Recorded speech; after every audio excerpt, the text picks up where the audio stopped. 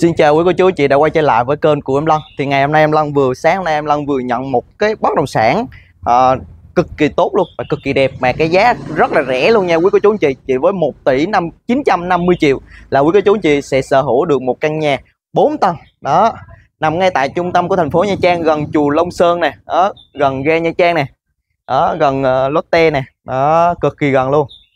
Và di chuyển đi ra biển chỉ đâu đó mất tầm khoảng cỡ 4 phút thôi quý cô chú anh chị rất là tiện lợi luôn nha quý cô chú anh chị nha. Về căn nhà này hiện trạng có tổng diện tích là 32,7m vuông, có chiều ngang là 3m, đó chiều dài hơn 10m tí xíu. Đó và có hướng là hướng tây nam nha quý cô chú anh chị nha. Về nhà hiện trạng gồm có hai phòng ngủ hai toilet một phòng khách một bếp một sân đậu xe máy và một uh, phòng thờ và có một sân phơi. Và phía trên uh, tầng tầng tầng 4 của mình á là là mê đúc á, sẽ có thêm một cái bồn nước chứa nước khoảng tầm 5 500 lít nha quý cô chú anh chị nha để cho gia đình mình sử dụng luôn thì uh, và căn nhà này hiện trạng có tổng diện tích là 32,7 m vuông, có chiều ngang là 3 m, dài hơn 10 m và được hoàn công trên sổ là 96 m nha quý cô chú anh chị, sổ hồng chuẩn chỉnh, nhà hoàn công chuẩn chỉnh. Đây ở ngay tại Nha Trang luôn và đường của nó là đường rộng 3 m, được quy hoạch mở rộng 5 m và diện tích trên sổ để để được trừ quy hoạch rồi. Đó, để được trừ quy hoạch rồi nha quý cô chú anh chị, nhà mình không có bị mất đất nữa nha. Và bây giờ em Lân sẽ quay lại camera sau, quay cho quý cô chú chị xem chi tiết về căn nhà này và dân cư xung quanh như thế nào ha. Thì đây đây là cái đoạn đường sẽ đi vào căn nhà mình. Đường này có mang tên là đường cao đài. Thì đây này quý cô chú chị, là đường cao đài này cũng đã có được được tên rồi, gắn tên rồi. Đó, và đường cao đài này sẽ giao sẽ giao với lại đường Hải Đức thuộc phường Phương Sơn của thành phố Nha Trang. Đây, ở đây là chị rõ, ở đây là chị rõ luôn là đường cao đài này rộng 5 mét này quý cô chú anh chị, ha. Phía bên này là hướng mà mình đi ra đường 23 tháng 10 thì từ vị trí mà đi ra 23 tháng 10 mất đâu đó tầm khoảng 200 mét 200 mét nha. Phía bên này là cái dãy trọ này. Đó bên này cũng là cái dãy trọ này quý cô chú chị. Để em lăn mở cả camera góc rộng để cho quý cô chú chị. Đây đó đây là cái khuôn viên dãy trọ này. Đây là cái cái cái, cái căn mặt tiền còn bên này là cái căn bên hông để đi vào bên trong phía sau. Đó hướng bên này là anh, anh chị di chuyển đi, đi xuống đây tí xíu là sẽ có được một cái chợ tự mở. Đây em lân sẽ đi bộ xuống một tí xíu quay cho quý chị xem ừ. thì đây dân cư đây ở cũng rất là rất là đông đúc rồi. Khít rồi. Đó. Đông lắm đông lắm rồi nha quý cô chú chị. Đó. Quý cô chú chị di chuyển đi hướng này nè. Tí xíu là sẽ có một cái chợ tự mở cũng có bán thịt này bán rau củ quả đầy đủ luôn. Đó. Là một chợ dân sinh nhỏ thôi. Đó người ta bán tại nhà. Cho nên là thứ nhất là giá cả nó cũng rẻ. Đó và thứ hai đây là ở phòng trọ cũng nhiều cho nên là ờ, uh, nhân lao động cũng nhiều. Cho nên là người ta bán cũng rất là rẻ luôn nha quý cô chú chị. Mà từ vị trí này nè anh chị di chuyển di chuyển là mất tầm khoảng 4 phút thôi. Đó 4 phút 4 phút. Tại vì hướng này á, anh chị đi ra là tới ngay chùa Long Sơn. Phía bên này nè cái dàn cây bên này là cây chùa Long Sơn này quý cô chú anh chị. Đó đây là chùa Long Sơn. Đó, đó em lần chia sẻ rõ luôn. Đó, về cái đường này là được ô tô vào được mà ô tô nhỏ thôi. Đây em lần sẽ đi vào bên đây. Bên đây là có một cái sân trống này người ta đang đậu một cái chiếc uh, 16 uh, chiếc ờ, uh, 9 chỗ. Đó. Một cái chiếc 9 chỗ đó ô tô là đường này là ô tô vô tới đây luôn nha quý cô chú anh chị nha. Nhưng mà đi vô tới nhà mình á thì là nếu mà đi thẳng vô tới nhà mình thì đó ô tô nhỏ thôi. Đó còn là ô tô 4 chỗ thôi. Đó đây có một cái chiếc 4 chỗ này đó người ta cái chiếc 9 chỗ người ta đậu đây luôn này đó thì nếu mà anh chị đi vào á thì qua bên đây là anh chị có thể quay đầu xe ngay chỗ đây. Đó, và từ vị trí này đi vô trong nhà mình là mất thêm khoảng trăm mét nữa. Đó thì đây là dân cư xung quanh của căn nhà mình này đó dân cư xung quanh của cái nhà mà em lân quay cho quý cô chị, chị xem đường xe rất là ok rồi. Hệ thống cống thoát nước đầy đủ ha. Đó là đường là đường được bê tông hóa. Ừ. ngày xưa là ngập này quý cô chú anh chị. Ngày xưa là ngập này nhưng mà cái phần mới đây là không có này thấy không? Bên này mới không có này thì ngày xưa là cái đường này còn đường đất này nó ngập.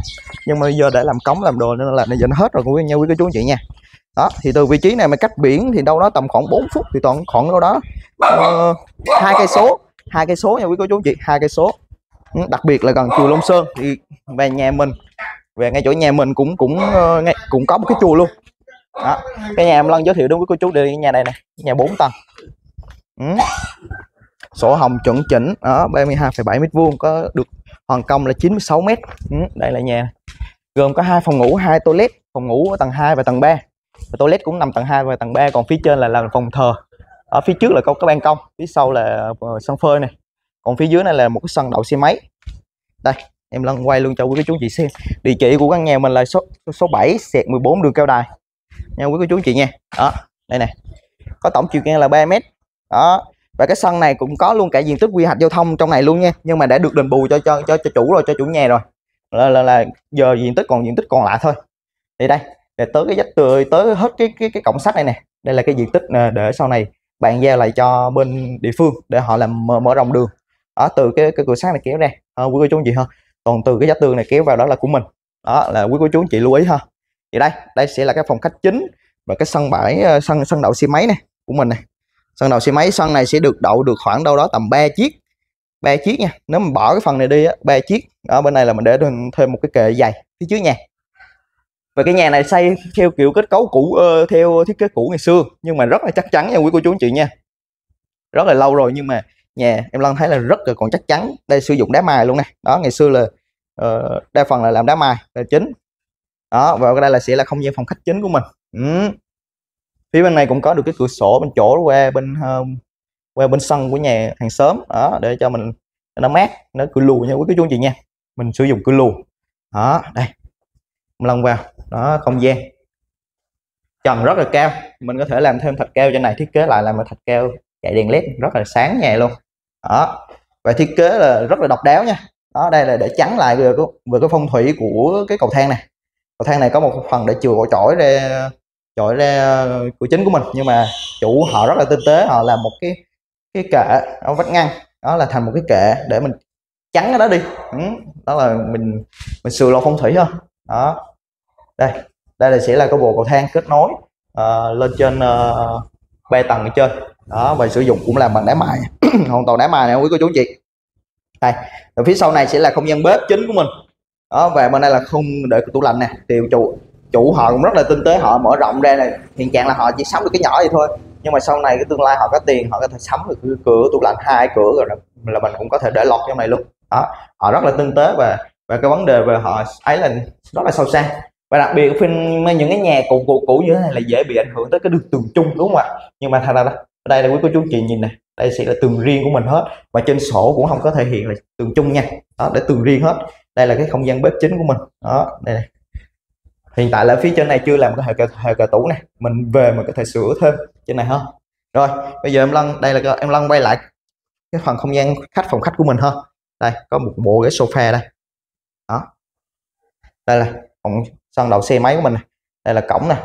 Làm rất là kín. Đó chống trộm rất là tốt hai quý cô chú anh chị nha. Đó trộm rất là khó vào. Ừ. rồi bây giờ em Lân sẽ đi lên trên tầng 2 quay cái, những cái những cái phòng ngủ uh, và cái toilet của mình. Và toilet đặc biệt là em Lân thấy em Lân khảo sát trước rồi. Thì là em Lân thấy cái toilet nó rất là rộng luôn. Đó đây sẽ là cái tầng 2 của mình ha. Đây là sẽ là không gian để mình đi lại. Rồi em Lân sẽ quay cái phòng ờ, vệ sinh chơi phòng toilet trước. Đó phòng tắm trước. Đây rất là keo, rất là thoáng luôn. Tại vì nhà bên kia họ xây cấp 4 à. Đó, nên là mình được hưởng mặt thoáng phía bên đó. Có sẵn cái máy giặt phía trong này đó, anh chị nhìn cái phòng khách rất là rộng luôn này đó, rất là rộng. Ừ. nhưng mà cái nhà này hiện tại là chưa có hệ thống ờ, nước nóng lạnh nha, quý cô chú chị nha. Mình mua về mình sắm thêm đây chưa có vòi sen luôn này đó. Thì rồi với phía bên này là sẽ là phòng ngủ chính của mình, phòng ngủ của mình. Đây tại vì nhà nó cũng hơi diện tích, nó cũng hơi ờ, hơi ờ, hơi nhỏ cho nên là thiết kế như thế này là em Lân thấy là cực kỳ là độc đáo rồi. Chủ sẽ tặng luôn cả cái bộ giường gỗ này, này cho mình luôn để lại cho mình hết. Và đặc biệt mỗi tầng nào cũng có đều có cái, cái ban công phía trước. Nha quý cô chú chị nha đều có ban công phía trước đây. Đây cái bàn này có thể mình đem tận dụng làm đem xuống làm phòng khách mình tận dụng ha. Đây là cái khoảng ban công của mình. Ừ. đây một lần xe ra ngoài quay cho quý cô chú chị xem. Về về đây em lần sẽ quay lại nè. Đó phía bên này cũng có cửa sổ này nhưng mà cửa này mà không được mở ra nha tại vì uh, cửa nào phải là dạng cửa luôn mình về mình sửa lại. Đó đây là cái không gian tầm view của, của tầng 2 của mình thôi. Rất là đơn giản. Ừ. Lotte là cạnh mình luôn. Đó Lotte là cạnh mình luôn. Đi siêu thị là cực kỳ thoải mái. Phía bên này cũng có cái chùa này gần nhà mình có cái chùa. Đó em Lan cũng sẽ có cái gì em Lan sẽ nói hết cho quý trên video ờ, trên video cho quý cô chú chị xem. Cái lưng này là lưng của Lotte này quý cô chú chị. Đó cái lưng này là siêu thị Lotte rất là gần thì anh chị không cần không cần thiết phải đi chợ, chỉ cần ra siêu thị Lotte thôi. Mình mua những vật phẩm, thương yếu phẩm cho gia đình mình là cũng cực kỳ tuyệt vời. Vậy rồi, bây giờ em Lan sẽ lên chơi tầng 3 ha. Đây, mỗi thang bộ đều, mỗi cái cái bậc thang, mỗi tầng với nhau, giữa giao, giữa mỗi tầng với nhau là sẽ có một cửa sổ để lấy ánh sáng vào căn nhà của mình. Ừ. đây. Đây sẽ là tầng 3 đây, em Lân sẽ quay luôn. Đó. Một cái bộ toilet rất là rộng luôn nè, quý cô chú anh chị. Ừ rất là thoáng này à, trên này thì có sẵn bồi sen rồi. Nhưng mà chưa có hệ thống nóng nước nóng lạnh thôi. Mình về mình sắm thêm thôi quý cô chú chị nha. Đây sẽ là cái phòng ngủ thứ hai. Đó của căn nhà mình. Đây. Đây. Phòng ngủ thứ hai của mình này. Đó. Trên này cũng anh chủ tinh tế làm thêm một cái số kệ. Đó là một ô vuông để mình để một cái số đồ lên đây và đặc biệt mỗi phòng đều có một cái hệ thống cửa sổ này bên bên hông này đó mình nhìn thẳng qua chùa Long Sơn luôn. Đó và bên đây mình lấy thêm mặt thoáng bên phía bên này. Mặt bên này là sẽ là mặt hướng đông nam nha quý cô chú anh chị hướng đông nam. Còn hướng chính nhà mình là hướng tây nam. Ừ. thì mỗi phòng đều có cái hệ ban công riêng hết này đó ngoài ban công của tầng 3 này rất là rộng luôn rộng hơn cái ban công của tầng 2 đó, ờ, đó. rộng hơn và cái tầm view nó nhìn nó, nó cũng khác luôn. Đó. Rất là mát. Ừ rất là mát em lo hiện trạng đang đứng ở đây gió rất là mát. Bên kia là điện máy xanh đó ngay chỗ đường 2 tháng 4 phía bên đó là điện máy xanh đó quý cô chú anh chị. Ừ, bên đây là mình thấy rõ chùa Long Sơn. Ở đây là chùa Phật trắng này đó Phật nè Phật Di Lặc nè. Đó tượng Phật Di Lặc ngồi nè quý cô chú anh chị. Tượng, tượng Phật trắng. Ừ. rồi bây giờ em Lan sẽ lên trên tầng 4 là không gian thờ và không gian sân phơi của nhà mình. Đây. Đó như em Lan nói là mỗi tầng đều có cái hệ thống uh, để lấy ánh sáng vào căn nhà của mình và lấy không khí mát vào căn, căn nhà của mình luôn. Đó làm cho căn nhà mình lúc nào cũng thoáng nha quý cô chú anh chị nha. Thì em lăn đây quay trước là sẽ là không gian sân phơi. Phía sau của mình này ừ. đây là phía sau của mình. Bên kia là chùa chùa Lộc Thọ. Đó phía bên này là chùa Long Sơn này quý cô chú anh chị. Ấy đó còn gọi là chùa Phật trắng ha quý cô chú anh chị nha. Đây là tầm view sân phơi của mình. Ừ. vậy rồi. Ở này là sẽ đi lên trên cái tầng thượng phía trên nè và tí nữa em Lan sẽ cũng sẽ di chuyển lên đó cho quý cô chú anh chị xem được cái mê mình là sử dụng tôn hay là mê đúc ha. Đó em Lan tí nữa em Lan sẽ lên quay cho quý cô chú xem. Đó thì đây là sẽ là không gian phòng thờ của mình. Phòng thờ của gia đình mình. Nếu mà gia đình mình không uh, chưa có thờ chưa có thờ thì có thể mình tận dụng này làm phòng ngủ luôn. Đó phòng ngủ trên này rất là tuyệt và ở đây là có một cái ban công rất là rộng luôn. Đó. Ban công là cái này là ban công bằng được cái cái cái ở dưới cái sân cái sân đậu xe máy của mình đó. ban công này bằng bằng dàn gió luôn nha quý cô chú anh chị rất là rộng. Ừ, mình ngồi đây ăn nhậu đây cũng rất là tuyệt vời. Đây đây là cái tầm view của mình. Ừ. tầm view của tầng 4 mình. Đó ha. Ở nhà mình vô tô vô được nhưng mà đều không có quay đầu được rất là khó khăn. Đó. Đó bên này siêu thị Lotte đấy thay rõ luôn nè quý cô chú anh chị. Ừ. chỉ với 1 tỷ 950 triệu là quý cô chú anh chị sở hữu một cái nhà 4 tầng như thế này.